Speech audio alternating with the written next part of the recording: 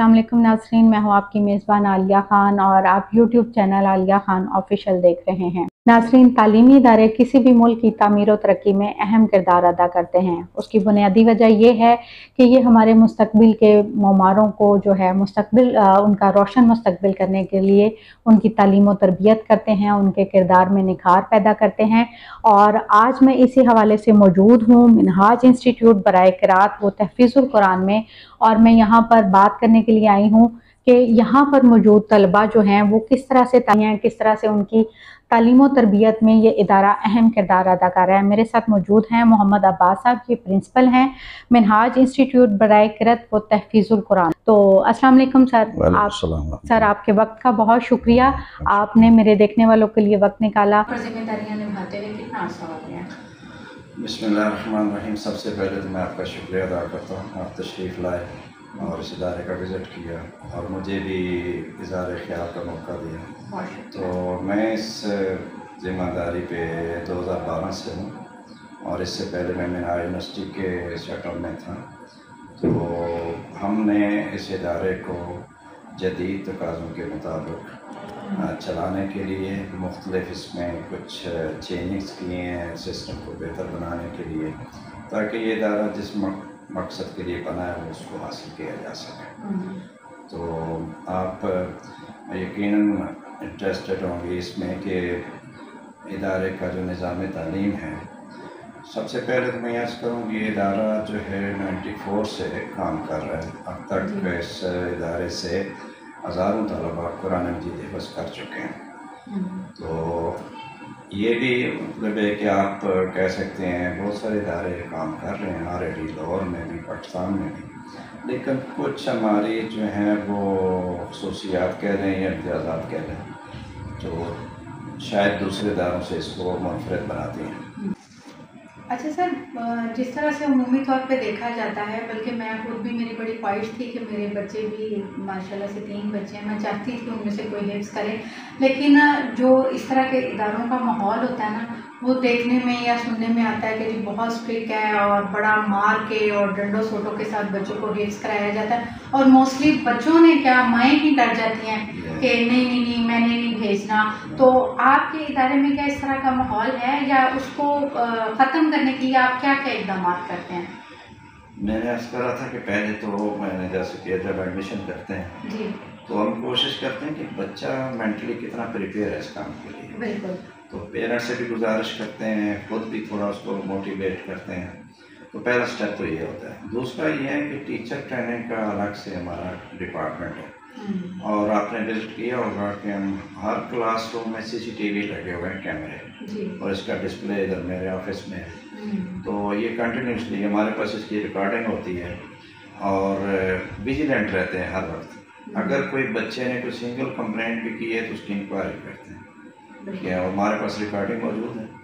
تو وہ زمانہ گزر گیا آپ ان چیزوں سے ہمیں نکل آنا چاہیے۔ تو بالکل ہم ڈسکریج کرتے ہیں اور سختی سے ممانعت ہے کہ بچوں کو فزیکل پنشمنٹ دیں۔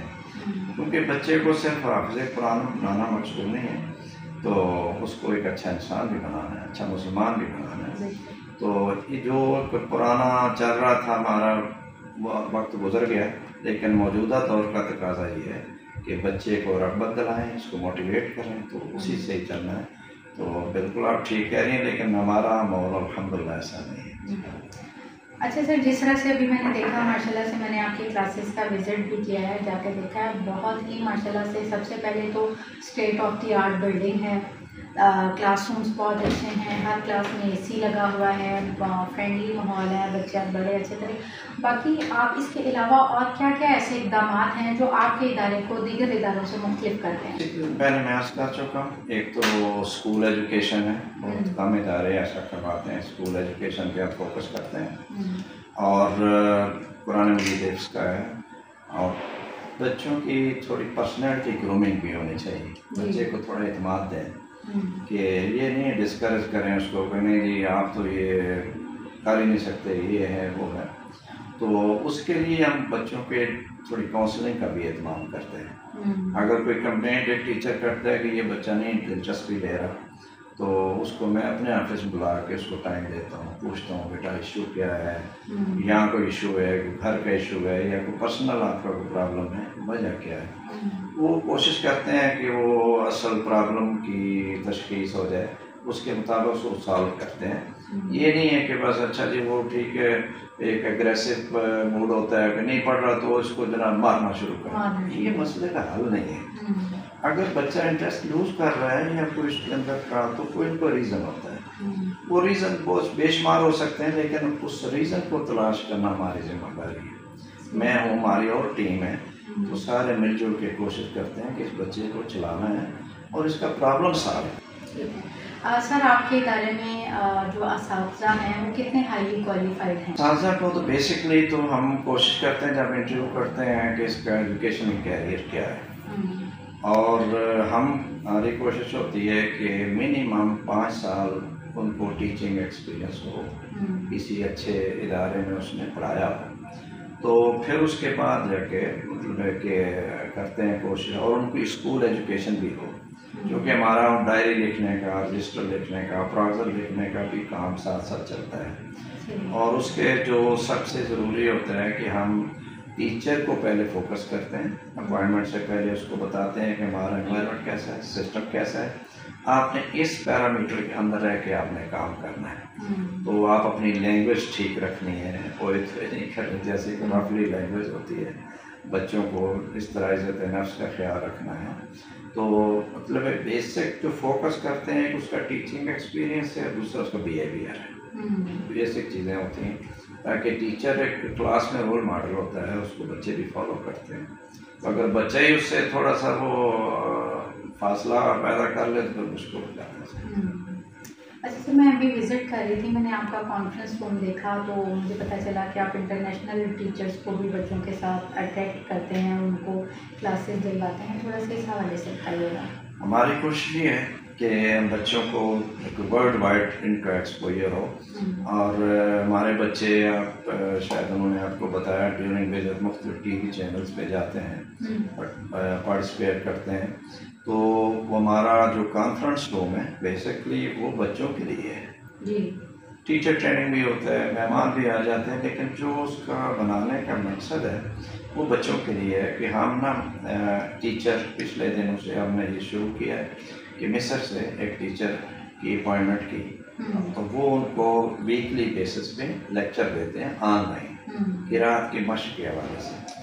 کچھ اور جگہ پہ بھی ہم کوشش کر رہے ہیں اس طرح کو رابطہ کہ بچوں کو صرف ہمارے انوائرمنٹ تک محدود نہ رہیں باہر کے لوگوں کو بھی سنیں انہوں کو بھی دیکھیں۔ پھر ان کی جو تجویز و رات کی کلاس ہے لوگ آتے ہیں اچھے اچھے بڑے بڑے نامور اور راز رات آتے ہیں۔ ان سے بھی مل پاتے ہیں تو یہ بھی ابھی شروع کیا ہم نے درست فرمایا الحمد للہ اور بڑا کامیابی سے چل رہا ہے۔ اچھا سر یہ تو ہو گیا نا کہ مطلب حفظ کرا رہے ہیں قرآن کرا رہے ہیں۔ آپ کسی بھی بچے کی جو مینٹلی ہیلتھ ہوتی ہے اس کی گرومنگ کے لیے غیر سبھی سرگرمیاں بہت اہمیت کی حامل ہوتی ہیں۔ تو باقی اسکولوں میں تو اس طرح کی چیزیں ہوتی ہیں۔ تو کیا مدرسے میں بھی اس طرح کے مواقع فراہم کیا جاتے ہیں بچوں کو؟ ٹھیک فرمایا ہم نے ہم نے جو ہے ایک تو یہ ہے کہ ہم آج کل تھوڑا موسم کی شدت ہے تھوڑا سا احتیاط کرتے ہیں بچوں کی صحت کا بھی خیال رکھنا۔ اسمبلی ہوتی ہے۔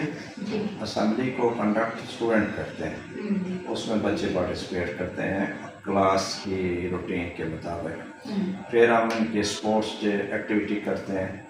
تھوڑا مطلب دو روزہ فل فلیج ایکٹیویٹی ہوتی ہے اسپورٹس کی۔ پھر ان کو مختلف ٹورس کرواتے ہیں۔ کہ تاکہ بچے جائیں تھوڑا اپنے ٹیچر کے ساتھ ہم اس کو فیسیلیٹیٹ کرتے ہیں۔ پھر ان کے ویکلی بیسس پہ مختلف لیکچرز کرواتے ہیں۔ ڈاکٹر صاحب کے بھی لیکچر ہوتے ہیں۔ اور باہر سے دوسرے کوئی جو حضرات ہیں ان کو بھی بلا کے لیکچر کرواتے ہیں تاکہ ان کی مورل جو ویلیوز ہیں دین کی اس کے حوالے سے آگاہ ہو سکیں۔ ہمارا چونکہ یہ سوسائٹی ہے دین ہے تو ہمیں جو سکھاتا ہے ان ویلیوز کو ہم نہیں چھوڑ سکتے مورل ویلیوز کو۔ اس کی ویکلی بیسس پہ بھی ہم نشست کرتے ہیں۔ اور اسپورٹس ایکٹیویٹی بھی چلتی ہیں۔ اور اسمبلی کی ایکٹیویٹی میں بچے پارٹیسپیٹ کرتے ہیں۔ اسپورٹس ایکٹیویٹی بھی ٹور جو ریکریشنل ٹور ہے یہ بھی کرتے ہیں۔ الحمد للہ اچھا سر مجھے بتائیے گا کہ جب آپ نے آغاز کیا تھا اس وقت کتنے طلبہ تھے آپ کے یہاں پہ زیر تعلیم؟ اور اس وقت کتنے طلبہ ہیں؟ یہ انسٹیٹیوشن تو میں نے اس کیا نا ابھی تقریباً آپ یوں سمجھیں کہ اس کو تیس سال ہو گئے جی۔ تو مختلف نشیب و فراز سے گزرا ہے۔ تو اس کا تو میں شاید کوئی کریکٹ انالیسز نہ کر سکوں۔ جی۔ لیکن ابھی ہمارے پاس پانچ سو سے زائد اسٹوڈنٹ مانا آپ کے پاس کتنے طلبہ جو ہیں؟ فارغ التحصیل ہوتے ہیں۔ ایوریج جو ہے وہ کوئی sixty to seventy sixty to seventy average ہوتا ہے وہ مطلب ہے کہ اس کی بچوں کی پروگرس کے اوپر ہوتا ہے فوکس کرتے ہیں. لیکن sixty to seventy annual basis پہ فارغ ہو جاتے ہیں. سر آخر پہ آپ ہمارے دیکھنے والوں کو بتائیے گا کہ آپ کے ادارے میں ایڈمیشن لینا کتنا آسان ہے اور اس کا طریقہ طریقہ کار کیا ہے؟ بڑا ایزی ہے. تو ہمارا یہ میں آپ کو اپنے ایڈمنسٹریشن کہوں گا. کہ آپ اپنے پیج پہ ہمارا نمبر شیئر کریں۔ تو بڑا سمپل سا ہوتا ہے۔ ہم تو زیادہ ہم کہتے ہیں بھی آپ نے میں ایک واٹس ایپ کال کی ہے واٹس ایپ میسج کر دیں جی۔ اسی پہ ہی ہم اس کو انفارمیشن سینڈ کر دیتے ہیں۔ تو مطلب تاکہ اس کو بار بار بیچارے کو ٹرپل ہی نہ ہو۔ لیکن پھر بھی ہم کہتے ہیں کہ والدین کو کہتے ہیں کہ بہتر ہوگا کہ آپ نا خود اور بچہ دونوں پہلے وزٹ کریں انسٹیٹیوشن پہ۔ بچہ خود دیکھے انوائرمنٹ کو تو جب وہ مینٹلی پریپیئر ہو جائے پھر اگلا کام کریں گے۔ تو لیکن واٹس ایپ کے لیے بڑی کلوز ایکسیس ہے۔ ہمارا فیس بک پہ بھی پیج ہے۔ تحفظ قرآن انسٹیٹیوٹ کے نام سے۔ اور مناج ڈاٹ او آر جی کی جو ویب سائٹ ہے مین ہماری اس کے بھی لنک میں آپ جائیں گے تو ادھر سے بھی انفارمیشن مل جائیں گے کچھ لوگ ڈائریکٹ اپروچ کر لیتے ہیں بے شمار طریقے ہیں۔ تو کوئی مشکل نہیں ہے۔ آپ سے بھی گزارش کروں گا کہ ہمارا نمبر لوگ سامنے تک پہنچائے۔ جی بہت شکریہ سر، آپ کے وقت کا، آپ نے ہمارے دیکھنے والوں کے لیے وقت نکالا۔ جی ناظرین، آپ نے محمد عباس پرنسپل منہاج انسٹیٹیوٹ برائے قرآت تحفیظ القرآن کی گفتگو سنی اور آپ نے وزٹ کیا منہاج انسٹیٹیوٹ برائے قرآت تحفیظ القرآن کا۔ آپ نے دیکھا کہ یہاں پر بچے کس طرح سے فرینڈلی ماحول میں تعلیم حاصل کر رہے ہیں، قرآن حفظ کر رہے ہیں۔ اور کہا جاتا ہے کہ کوئی ایک بچہ قرآن حفظ کر رہتا ہے تو اس کی آنے والی، وہ اپنی آنے والی سات نسلوں کو اگر میں غلط نہیں کہہ رہی تو اپنی آنے والی سات نسلوں کو بخشوا لیتا ہے۔ تو میں یہاں پر آپ سب سے یہی گزارش کروں گی کہ اگر آپ اپنے بچے کے لیے کوئی ایسے ادارے کی تلاش میں ہیں، آپ اپنے بچے کو دینی، بہترین دینی تعلیم دینا چاہتے ہیں، تو آج انسٹیٹیوٹ برائے قرآت کو تحفیظ القرآن میں ضرور اپنے بچے کے لیے وزٹ کریں اور آپ باقی دیگر تعلیمی اداروں کا موازنہ کرتے ہوئے یہاں پر اب میرا خیال ہے کہ آپ اپنے بچے کے لیے بہتر مستقبل کا فیصلہ کر سکیں گے۔ یہاں پر ایڈمیشن کے لیے اسکرین پر آپ کا نمبر دیا گیا ہے، آپ ضرور رابطہ کیجیے گا۔ کمنٹ باکس میں بھی رابطہ کر سکتے ہیں، مزید معلومات کے لیے بھی آپ رابطہ کر سکتے ہیں۔ اگر آپ کو میری ویڈیو پسند آئی ہو تو اسے لائک کیجیے گا۔ اگر آپ نے میرا چینل عالیہ خان آفیشیل، ابھی تک سبسکرائب نہیں کیا تو سبسکرائب کیجیے گا اور ویڈیو کو آگے شیئر کیجیے گا۔ اس کے ساتھ ہی اجازت دیجیے اللہ حافظ۔